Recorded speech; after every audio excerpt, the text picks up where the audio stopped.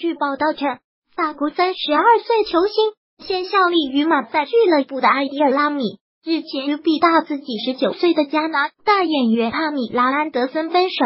双方关系仅维持了一年。而双方分手的原因，则是拉米的求婚被帕米拉拒绝，这成为双方分手的导火索。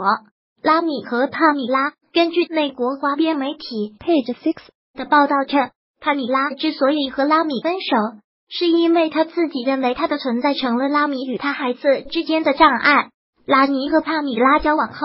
就没有太多时间顾及到他的孩子，因此他离开拉米，这样拉米就可以全心。的照顾他的两个孩子了。报道还称，帕米拉希望拉米和孩子的生母重新复合，这样对孩子更好。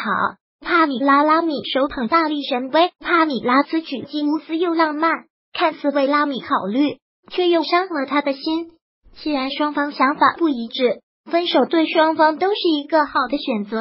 毕竟爱情是两个人的事，祝愿双方都早日找到好的归宿。